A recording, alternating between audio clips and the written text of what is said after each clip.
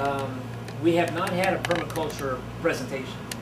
You know, we've had a lot of different things, a lot of different topics, and this is something we've always pretty much wanted to do, but it seemed to me that it was mostly being done in Austin, you know, so it's um, wonderful to have, um, on a personal note, Dodrick here and uh, Adhana to, to have this presentation, so um, welcome very much.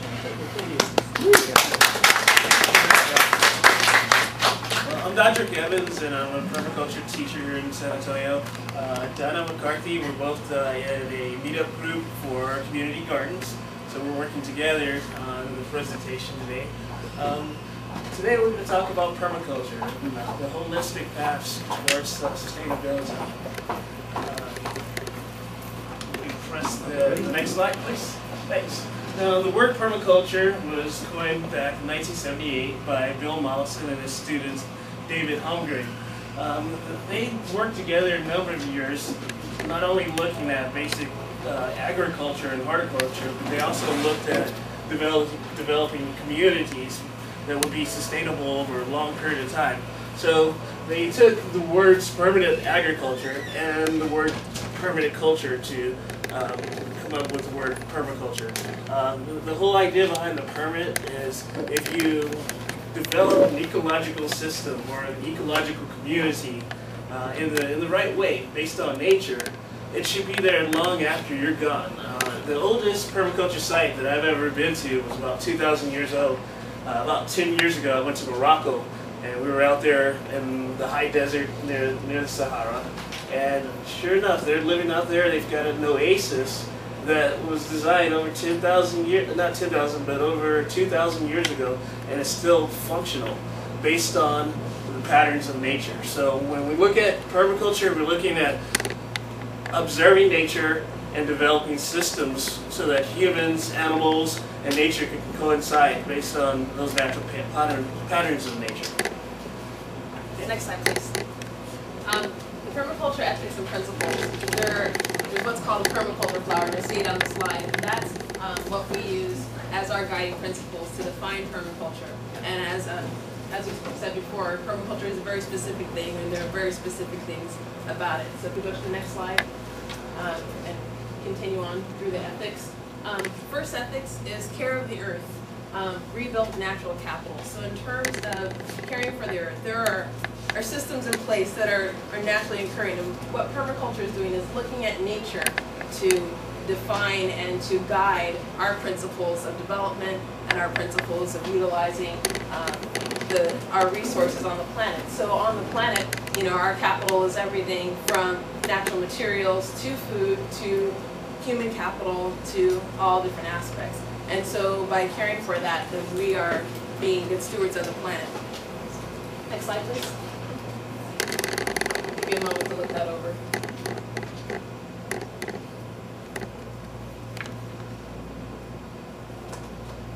One of the biggest things in this slide is talking about the health of the soil.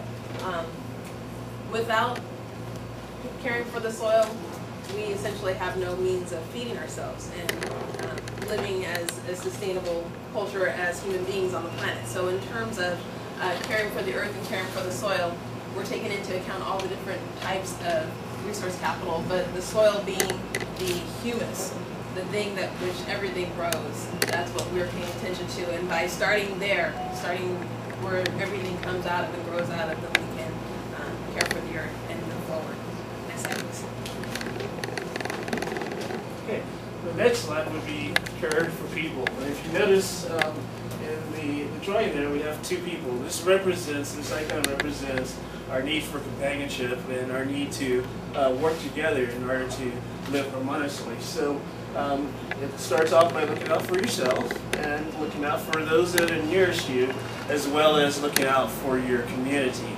Um, next slide, slide please. So uh, when we're looking at work, working in a community, um, permaculture, when people look at permaculture, they think it's just about how to grow plants and food organically. That's true, but the culture part of that is once you've grown all this food and you have a bounty, what do you do with it? So um, in permaculture, we like to share our food with you know our neighbors, and also you know there's a there's a local economy uh, that we can maintain by buying from our neighbors and supporting our local economy. So not only sharing with your neighbors, but supporting your neighbors and whatever their endeavors are. Uh, next slide, please. Now, fair share. Um, basically, uh, as you can see, the next uh, icon, there's a piece of the pie.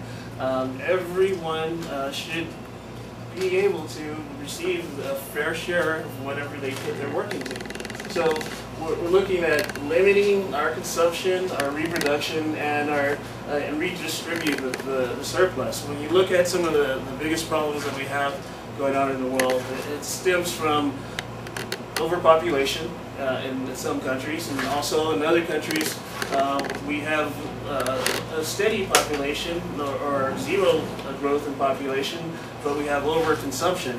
As a result, some cultures suffer while others prosper. So we're looking at distributing, you know, our our, uh, resources in a responsible manner and managing our cons- consumption. Next slide, please.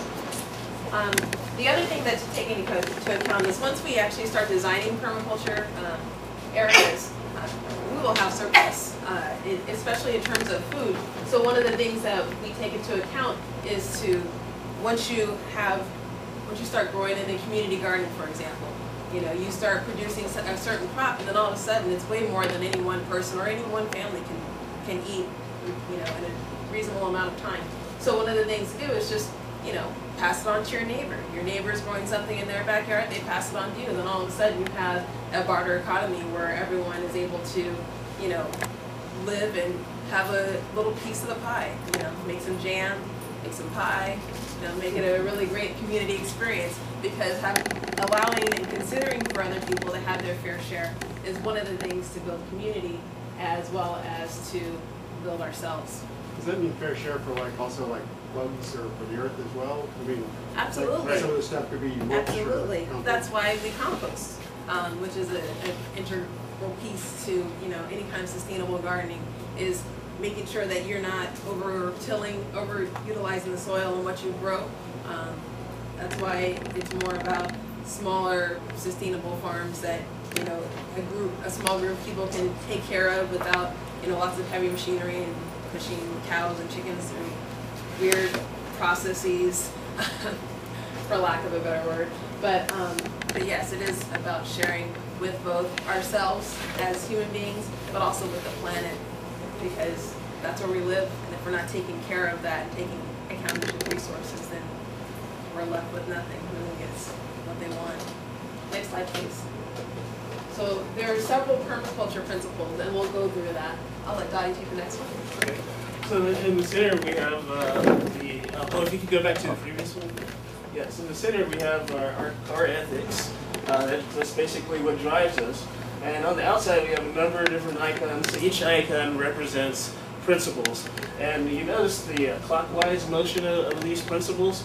Well, generally speaking, as we um, look at each one of those principles, they're all interconnected and they all tie into each other. So if you could go to the next slide, please, uh, Stephen. Uh, the first uh, principle would be observe and interact.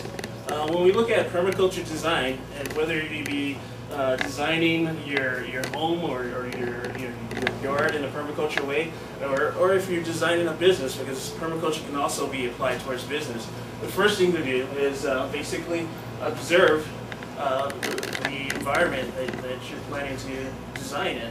Uh, so the first step in permaculture would be to observe. The next one, please, if you could go to the next slide, okay.